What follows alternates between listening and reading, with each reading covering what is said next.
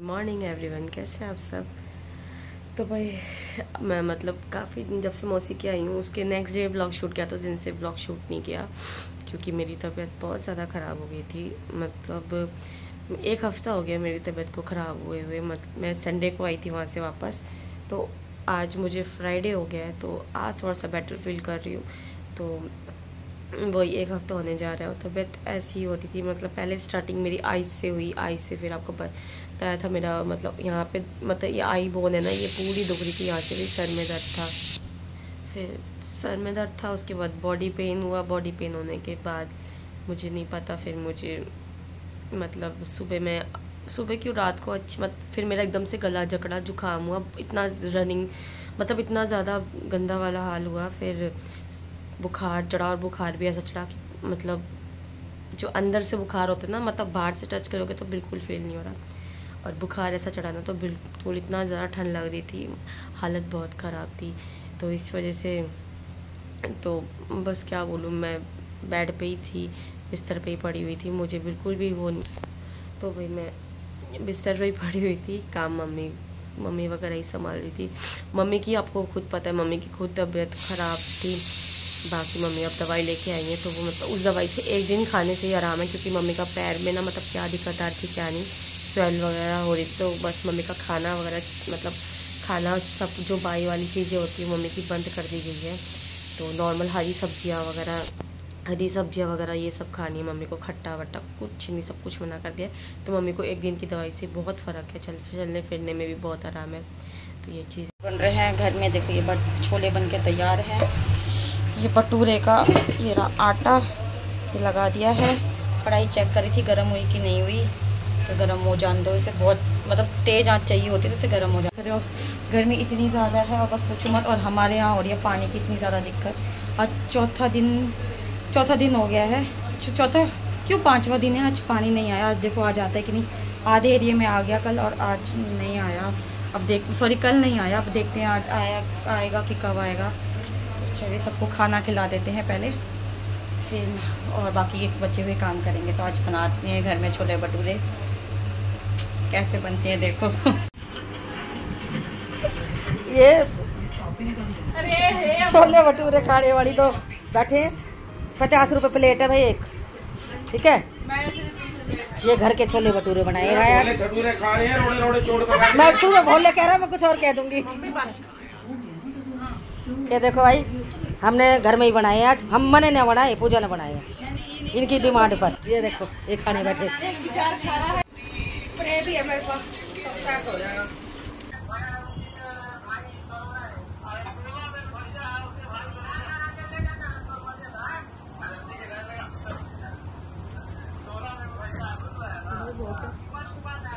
सारे बना को बहुत है। बस ना। तो ये पूरी कलेजी बना दे गए भैया। अरे बस करो इधर वो करो सूर है ना एक नंबर का पूरी क्लिप बनाएगा यार ये डाल भी देगा। सुंदर तो लगने वाली है। ये तो तू भूल जा।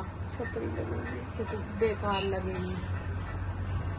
मैं तो पारुल के से जब मेरी शादी हुई दो लाख रुपए पारुल दे देंगे क्या है? पढ़ जाऊँ डर लगेगा हमें। डर लगेगा हमें।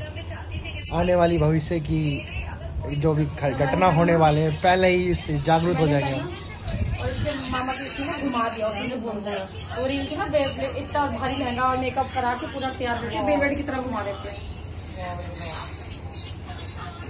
लहंगा सही है ये इंसान गलत है। बदतमीज तू थोड़ा। भविष्य खतरा आज ही देख रहे ना इतना सारा लहंगा लूँगा आके ना एकदम है ना। खतरा दिखाई माँ भी वो तेरी शादी में नहीं नया आएगा स्कीम बड़ा चना उधर क्या उधर करा ले रही मैं। हाँ अब आई रोशनी।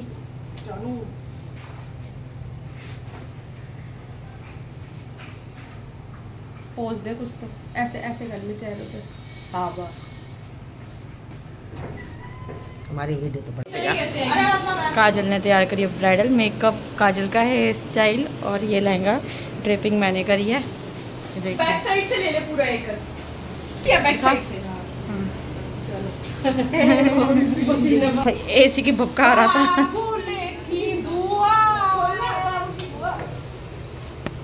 कमरे का हाल बुरा मत हुआ पड़ा है बिल्कुल।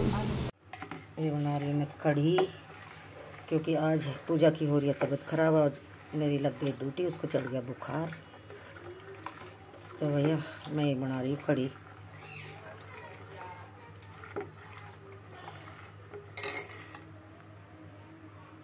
आज गोलगप्पे और पापड़ी बड़े टाइम बाद लिए थोड़ी सी लिए क्योंकि मम्मी को मना है। चारवी को पापड़ी पसंद है। और थोड़े से गोलगप्पे मैंने लिए और मेरे फ़ोन को कौन खवाता है? भून लेंगे देखिए पापड़। और यहाँ बन रही है चाय। हो गए थे मम्मी कह रही थी पापड़ भून। कई दिन हो गए मतलब पापड़ नहीं खाए। तो इसीलिए मेरे साथ थोड़े से पापड़ भून लेते हैं आज। पर आज अभी जाऊँगी। थोड़े से पापड़ और लेके आऊँगी, थोड़े से साबुदाना वगैरह के। ये तो बस चार भी खाती तो इसलिए चारवी के चक्कर में है पापड़, नहीं तो भून ही लिए। मैं कहा, चलो, यही रखें, यही भून लेते हैं। तो चलिए, चाय वाय पी लेते हैं। उसके बाद भी थोड़ा सा बाहर का काम है, वो करके आते हैं।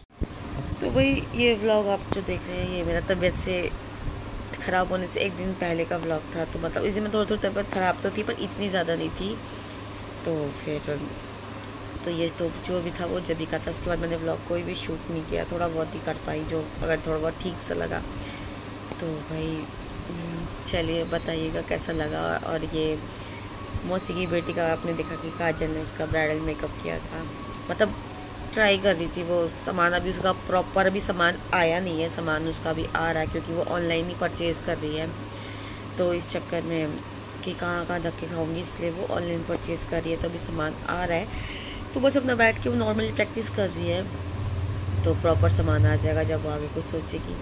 तो ये चीज़ है, क्योंकि फिर आप लोग सोचो कि मतलब जो है तो अब इसका सामान प्रॉपर नहीं है। तो इसलिए बस वो ऐसी ट्राई कर रही थी नॉर्मल मतलब लहंगा ड्रेपिंग वगैरह सीख रही थी कि मतलब अगर कल को तैयार करना है तो लहंगा ड्रेप कैसे करना है तो भूल ना जाऊँ मैं कोर्स कर कोर्स कर रखा है तो मतलब ये ना कि घर में फिर बैठे रहो तो भूल जाते हैं।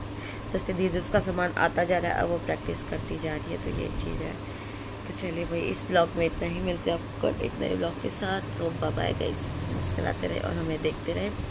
तब ठीक होते ही तो मस्त वाला ब्लॉग लाऊँगी आपके लिए। तो चलिए बाय बाय